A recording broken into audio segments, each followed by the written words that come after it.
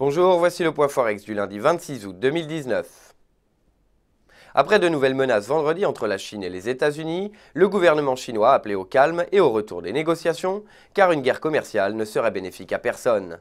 Ainsi, le cours de la UDUSD pourrait continuer de progresser et venir franchir la résistance à 0,6745 et poursuivre en direction de la moyenne mobile sans période. En revanche, un retour des menaces pourrait conduire à une nouvelle accélération baissière. Retrouvez-nous dès 11h pour le Market Live et dès demain pour d'autres analyses.